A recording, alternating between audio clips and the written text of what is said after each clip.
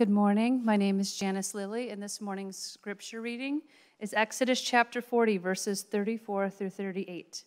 You can find it on page 75 in the Bible in the pew in front of you. Then the cloud covered the tent of meeting, and the glory of the Lord filled the tabernacle. And Moses was not able to enter the tent of meeting because the cloud settled on it, and the glory of the Lord filled the tabernacle. Throughout all their journeys, whenever the cloud was taken up from over the tabernacle, the people of Israel would set out. But if the cloud was not taken up, then they did not set out till the day that it was taken up. For the cloud of the Lord was on the tabernacle by day, and fire was in it by night, in the sight of all the house of Israel throughout all their journeys. This is God's word.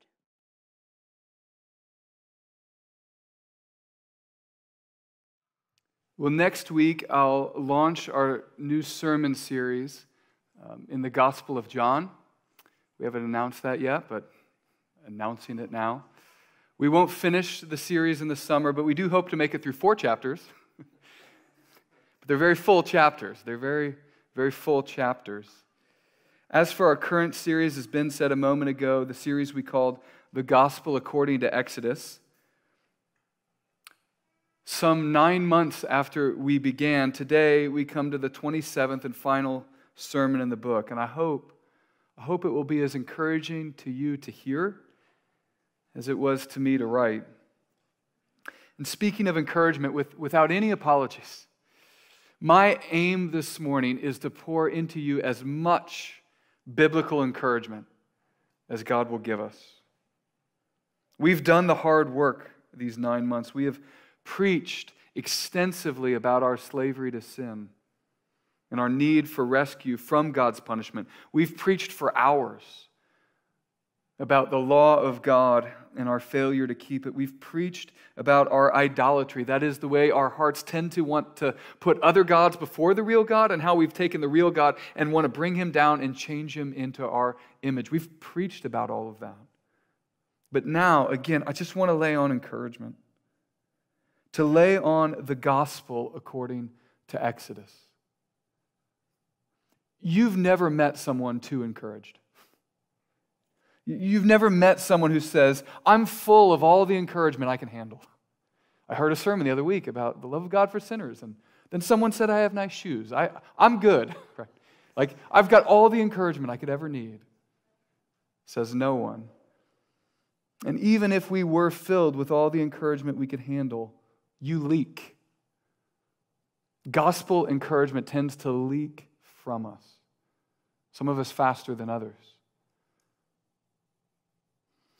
On May 25th, May 25th, 1961, so almost to the day, 61 years ago, President Kennedy stood before Congress and proposed that the United States should, quote, commit itself to achieving the goal before this decade is out of, some of you will know where this is going, landing a man on the moon and returning him safely to Earth. Both are important.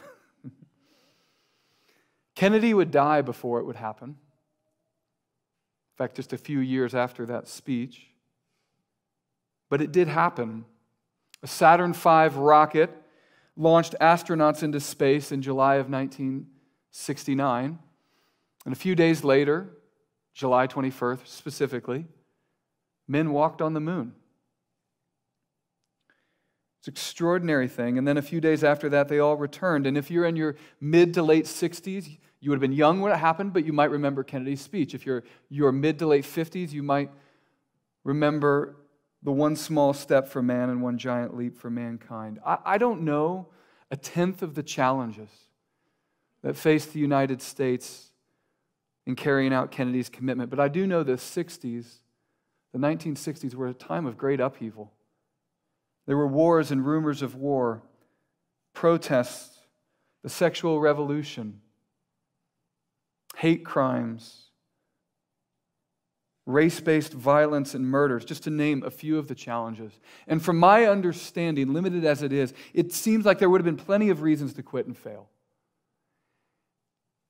It's a poor representation, but in some ways, it, the Kennedy speech, the decade to the moon and back, it, it can help us understand the book of Exodus. We read the service in the verse, or in the service, we already read the verse, chapter 3, verse 12. But I want to read it again. Through a fiery bush that doesn't burn, God speaks to Moses and says, I will be with you. I will be with you, God says, and this will be a sign for you that I have sent you. When you have brought the people out of Egypt, you shall serve God on this mountain. You shall serve God on this mountain, he says. When God tells that to Moses, Moses isn't even in Egypt. He's in the wilderness, and the two million of God's people are in Egypt. And oh, by the way, they're enslaved by the most powerful man of the most powerful nation on earth. Challenges. But then Moses comes back to Egypt. God sends plagues, and the Israelites leave. Just to summarize 10 chapters. And when they leave, God declares it to be for them the first day of the new year. Exodus 12, verse 2. This day is the beginning of years for you. It's New Year's Day, first year. Then three months later, they come to this mountain, this Sinai mountain, uh, Exodus chapter 19, verse 1. And then they stay there at the base of this mountain for nine months. So, day one, three months, get to the mountain, then nine months. And at the end of that nine months is the first day of the second year. Exodus chapter 40, verse 2 and verse 17. And they're there for nine months, building all that will be built for the God who is who He is. If you remember, I mentioned a couple weeks ago in a sermon about all the building that would take place. I said, you couldn't have done this in an all nighter right before the end of a semester. Like, you couldn't have. You, they took nine months to do all of this building. But then, when nine months are over, the first day of the second year, God's word to Moses from Exodus chapter 3, verse 12, comes true. Not only, not only has God brought them to himself, bearing them on eagle's wings, taking them out of the strong hand of Egypt so that they might worship him on this mountain, but God also brings his presence to them. He brings them out so he can come close. And he does this so that they would know that God is God. That's the phrase we've come back to again and again, isn't it? Throughout the book of Exodus, a phrase so often repeated, so weighty and so prominent, theologians have given it the name the recognition formula. And the recognition formula, as I've said probably a half dozen times across this series, goes like this Then he will know, then they will know, then you will know. Then you will know what? What will we know? Then you will know, God says, that I am God the recognition formula occurs nearly 20 times in the book. Everything that God does in the book of Exodus is so that you would recognize that God is God. All of the events in Exodus, from the baby floated down the river to a fiery bush that doesn't burn, to Moses and the plagues and the, the angel of death passing over the doors that had the lamb's blood on them, to the parting of the Red Sea, to the closing of the Red Sea to the manna on the ground, to the pillar of fire, to the giving of the law, to the building of all that would be built for the proper worship of the God who is who he is. All of that was done so that you would know God is God. And it wasn't. It wasn't just, as we've pointed out recently, that God had to save his people from Egypt. It wasn't just that. God must save Israelites from Israelites. For the last two weeks, we talked about the debacle that was the golden calf. And now, after chapters 32 and 33 and 34, the people have this renewed sense of obedience, a willingness to respond to God's grace. And, and we didn't read this passage today, but we see their obedience highlighted in all kinds of ways from chapter 35 all the way through the end of the book to chapter 40. They bring offerings of gold for the Ark of the Covenant. They bring offerings for the material for the tabernacle, fine linen garments for the priests. They bring offerings for all that had to be made, so much so that Moses actually has to say, You got, you got to stop bringing stuff. We have plenty of stuff. If you haven't brought it yet, you missed your chance. And after they bring the material, they build it all. And at the end of nine months, Moses instructs them to have it all assembled. In fact, God tells Moses to assemble it all. Then Moses has them assemble it all. And they do everything word for word as the Lord commanded. That's the phrase. If we had read all of chapter 40, that's the phrase we would have seen over and over again in chapter 40. As the Lord commanded, as the Lord commanded, as the Lord commanded. Seven times in the chapter 19, 21, 23, 25, 27, and 32. As the Lord commanded. And when they finish, God shows up. Let's look at the passage again, chapter 40, verse.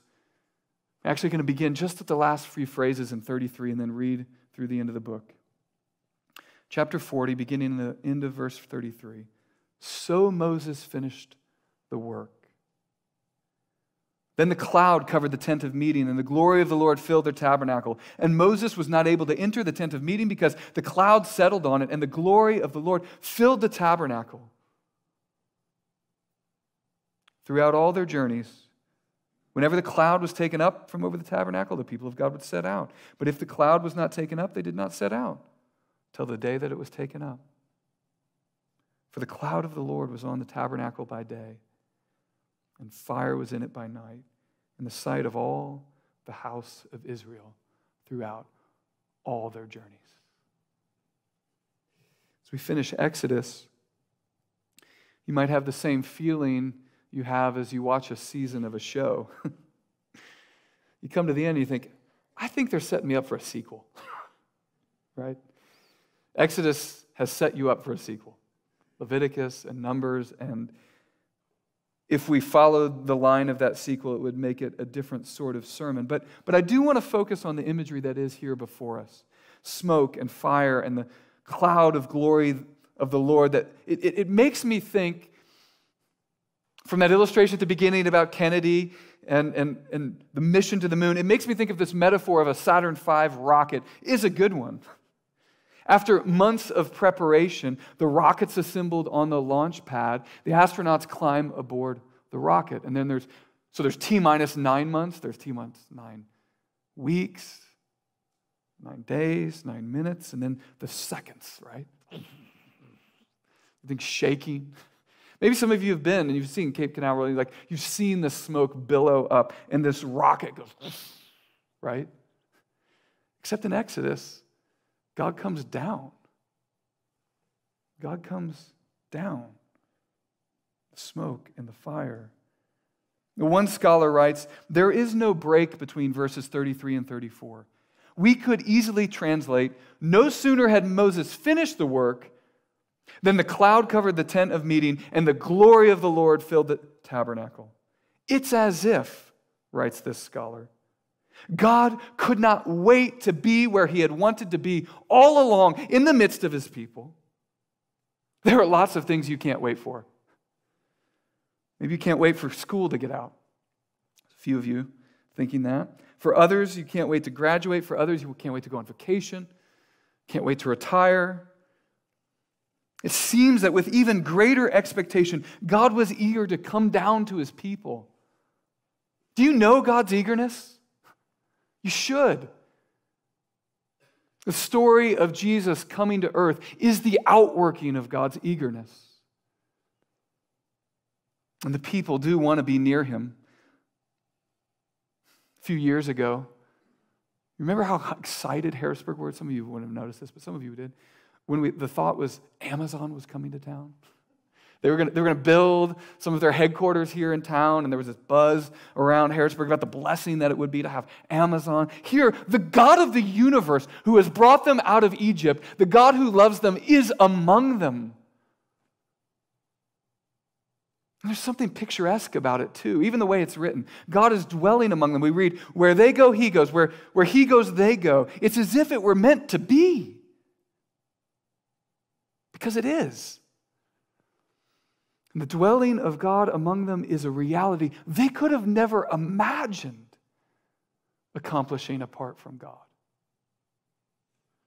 As we close the book, we need to see the encouragement that Exodus offers. We have more than an academic interest in this book. We have a personal interest, or we should have a personal interest. The same God who delivered them and dwelled with them is the same God who delivers us and dwells with us. And the encouragement from the book of Exodus is that God can do what he says. He told Moses, You will worship me on this mountain. And they do. All the obstacles that were against them, from the outside, from the inside, could not stop God from keeping his promises and dwelling among them. And it makes me think, makes me think of the way older saints describe God and their Christian life. Yeah, an older, mature Christian might say, Yeah, yeah, I did some things.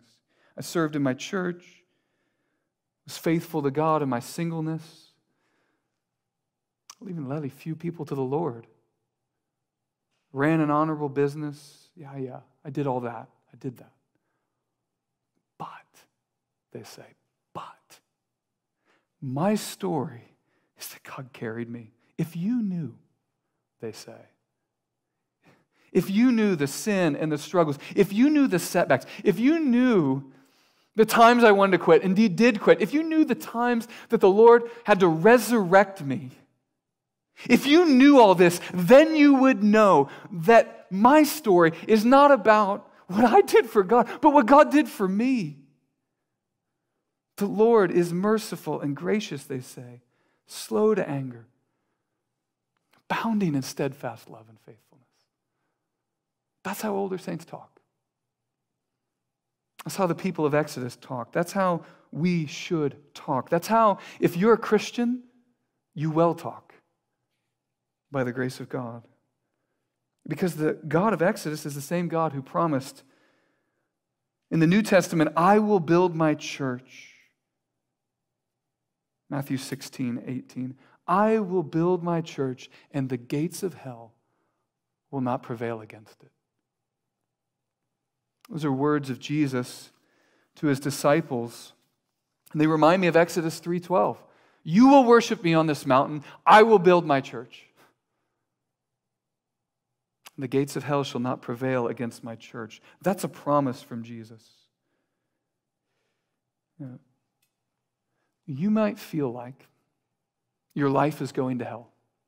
You, you might even say, I feel like my soul is going to hell. And you might feel that way because it's true. Hell is a real place. And outside of Jesus, that's where sin leads. And you need Jesus, you need his forgiveness, you need his redemption, you need his rescue, you need his mercy, you need his life, his death, his resurrection, the promise of his second coming. And you've never received it, but you can today. Like you, you, can, you can get in on all that today. Some of you might feel like your life is going to hell, and you're not. You're not.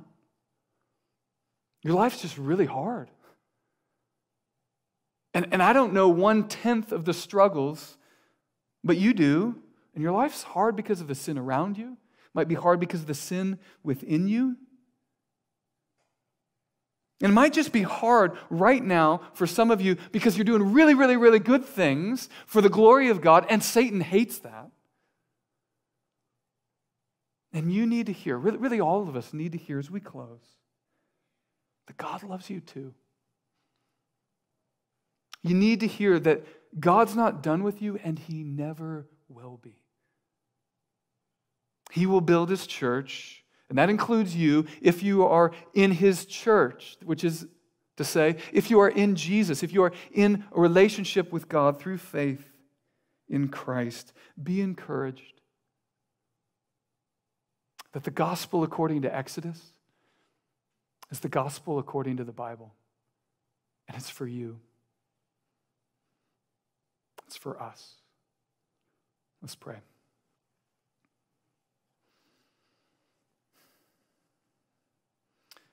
Heavenly Father, there's not a one among us who's so full of encouragement. We just say, No, no, no, no, I'm good.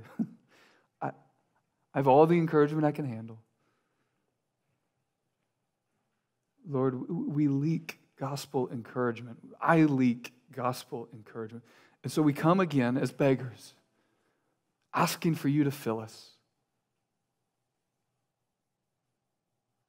Not because we deserve it, Not because we've earned it, but because you are good and you are kind. And we believe in the scriptures and the testimony of our life that you love us. And we ask, Lord, that you would carry us home to the promised land and finish the good work you have begun. We pray this in Christ's name.